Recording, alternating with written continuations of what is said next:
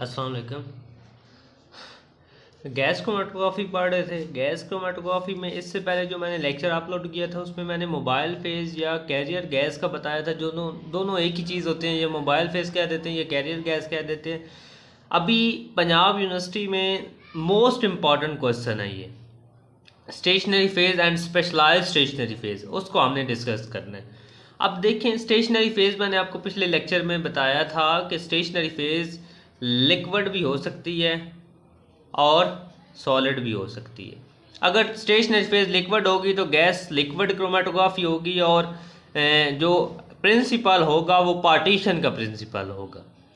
Partition की base पे हमारी सेपरेशन होगी। अगर लिक्विड, स्टेशनरी फ़ेज़ सॉलिड होती है तो हमारी गैस सॉलिड क्रोमेटोग्राफी होगी और जो प्रिंसिपल होगा सेपरेशन का वो एड्जॉर्प्शन की बेसिस पे होगा। जी, इसमें अभी जो हम लिक्विड यूज़ कर रहे होते हैं the liquid use as a stationary phase as stationary phase is coated या तो हम कॉलम की वॉल के साथ कोट कर देते हैं, या सपोर्ट करते हैं बाय सम इनर्ट सपोर्ट कोई सॉलिड ले लेते हैं, उस, उसको, उसके ऊपर हम क्या लगा लेते हैं लिक्विड स्टेशनरी फ़ेज़ और उसको कॉलम की वॉल कॉलम की दीवारों के साथ क्या कर देते हैं, चिपका देते हैं। ठीक है? और वो जो स्टेशनरी फे जो स्पोर्ट हमने यूज़ करनी है, वो केमिकली क्या हो? इनर्ट हो। ठीक है? कैम थर्मली इनर्ट हो इनर्ट हो थर्मली स्टेबल हो केमिकली इनर्ट हो, और उसका सरफेस एरिया क्या हो? बिल्कुल पाउडर्ड फॉर्म में। उसका सरफेस एरिया बहुत ज़्यादा होना चाहिए यूनिफॉर्म होना चाहिए। ठीक है? इसमें कौन सी है? Such as diatomaceous earth metals हैं। उसके पास स्पॉन्जी स्लिकियस मटेरियल है। इन दोनों को हम क्या यूज़ कर सकते हैं? एस, वहाँ पे इनर्ट स्पोर्ट यूज़ कर सकते हैं, सॉलिड स्पोर्ट यूज़ कर सकते हैं, जहाँ जिस पे हमने लिक्विड को क्या करना है, लिक्विड को लगा के उसकी कॉलम की वाल पे क्या कर देना है? Adjust. This material is coated with this material is coated with a suitable amount of liquid stationary phase अब जो ये मटेरियल है डाई एटमेसियस अर्थ मेटल और स्पॉन्जिस स्लिकियस मटेरियल इसको हमने यूज़ करना है लिक्विड स्टेशनरी फ़ेज़ के साथ, लेकिन एक सूटेबल अमाउंट में। ठीक है?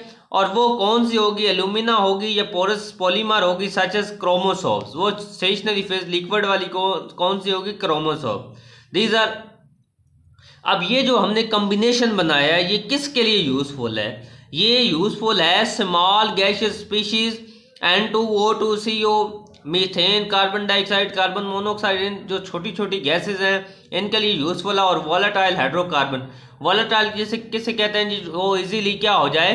वेपराइज हो जाए। ठीक है?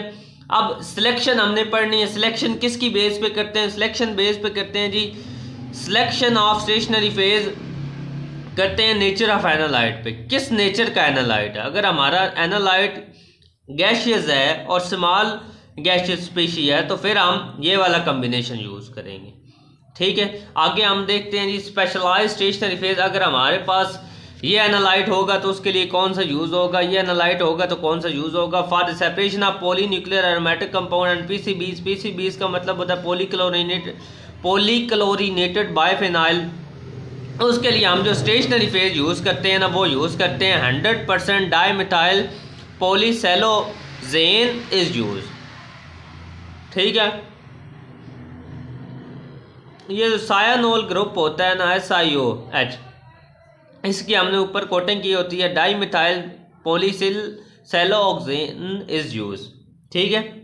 Siloxane is use for pesticide के लिए हम कौन से यूज़ करते हैं? Dimethyl diphenyl diphenyl dimethyl polysiloxane is use अब हमने अगर सेपरेशन करवानी है for for separation of organochloride pesticide तो हम क्या यूज़ करेंगे? 14 percent cyano propyl phenyl 86 percent dimethyl siloxane is use अब ये आपने याद करनी है। ये पेपर में क्वेश्चन आया हुआ है जी, पाँच नंबर। ठीक है? स्पेशलाइज स्टेशनरी फ़ेज़ और स्टेशनरी फ़ेज़ ये कॉलम के साथ इकट्ठे ही पूछ लेता है, ये इतना आप जितना मैंने लिखा हुआ है इसमें, ये लिख दें तो काफ़ी अगर हमने एसिड्स की सेपरेशन करवानी है पोलीसेचुरेटेड फैटी एसिड्स या अल्कोहल की तो हमें eighty percent by biscyano propyl twenty percent cyano propyl phenyl polysiloxane will be use हम ये स्टेशनरी फ़ेज़ यूज़ करेंगे। For aldehyde ketone and separation of aromatic isomers तो हमारे पास पोलीथिलीन ग्लाइकोल इज़ यूज़ ठीक है पोलीथलीन ग्लाइकोल क्या use होगी? एज स्टेशनरी फ़ेज़ या स्पेशलाइज स्टेशनरी फ़ेज़ होगी।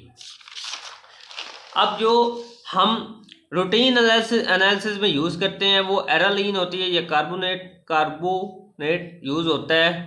कार्बोरोनोनेट्स are used in routine analysis of G G C routine analysis में ये दो चीज़ें यूज़ होती हैं एज स्टेशनरी फ़ेज़ अब ये बेशक आप एक दफ़ा स्क्रीन शॉट ले लें, फिर मैं बंद कर दें ये पेपर में बहुत ज़्यादा रिपीटेड है, इस साल भी आया टू ट्वेंटी ट्वेंटी वन में भी ये पेपर में आया हुआ था स्पेशलाइज स्टेशनरी फ़ेज़ वाला। इतना लिख दें तो बस काफ़ी है। ठीक है जी, अल्लाह हाफिज़।